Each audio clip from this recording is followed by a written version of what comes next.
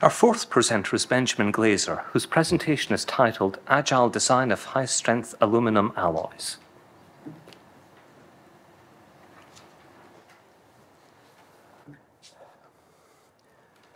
Have you ever thought about what moves us? What gets us from point A to point B in this wide world of ours? In most cases, it's something like a car or a plane, right? But these systems contribute significantly to our global energy crisis, being responsible for 40% of our annual CO2 emissions. This comes from the fuel and energy used to power these systems, as well as to acquire, process, and assemble the materials used in them. And this isn't a new problem, but it's long been viewed as a mechanical issue. How do we make the engines more efficient, make them run with less fuel? But what if the problem isn't wholly mechanical?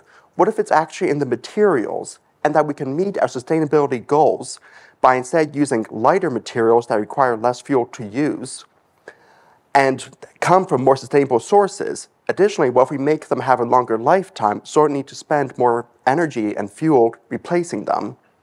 Well, we have a candidate for this, and that's aluminum. But aluminum on its own is very soft and ductile. We all know a, a soda can, you can pretty easily crush it, bend it, or twist it, and surely we don't want something like that to happen. So how do we solve this? Well, we alloy the aluminum. We introduce new elements to it that resolve into strengthening phases and features. But which elements? We have dozens of ones on the periodic table and millions of possible combinations and permutations.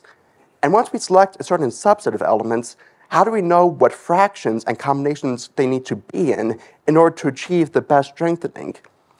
It's a very high dimensional problem, and our brains cannot handle it which is where my research comes in, as I'm using high throughput simulations and machine learning to very rapidly explore a, this high dimensional data set and unravel the underlying connections between how we change the compositions of our elements and how they drive the final performance.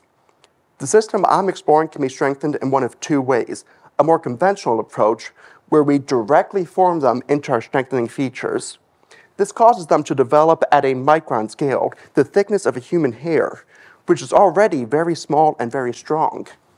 But for this system, we can also take a more complex approach. We can first drive them into an intermediate step, activate it, and drive them into our final strengthening features.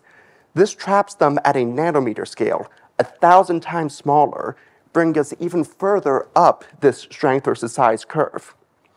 This system has already been used to design an alloy that's 50% stronger than aluminum that's available on the market. And as I continue to unravel the connections between the elements that make up that alloy and how we got to that final performance, I can achieve ones that have up to 95% strength retention with potentially 30% reductions in cost and emissions. And someday these alloys could be fueling your next set of vehicle fleets and aircraft. Thank you.